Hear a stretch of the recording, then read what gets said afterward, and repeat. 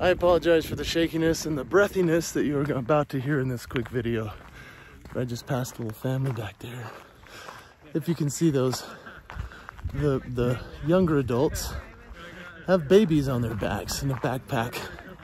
Looks like they might be walking with the grandparents too.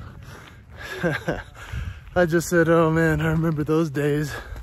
The best of times for sure. I remember bringing my kids up here on a hike in a backpack. And then eventually they got to the point where we bought them little hiking shoes and they would walk alongside me holding hands. And then eventually, just a year or two later, they would be running ahead of me and I'd be like, guys, don't go too far, don't go too fast. And then as they became older, they would slowly either trail off behind as I was trying to pull them up the mountain or they would just run right ahead and go do their own thing. I remember do those things as a family. So fun. Now they're in those tween teen years. 13, well, 10, 13, 14, 15, 15, and starting to learn how to drive.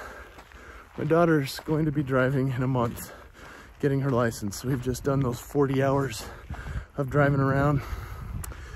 As you can see, I'm alone on my hike. And I've invited them on little hikes here and there. They'll come once in a while. Not every time. That's okay. Season to everything. They'll come with me again. But are you enjoying and savoring the season you're in?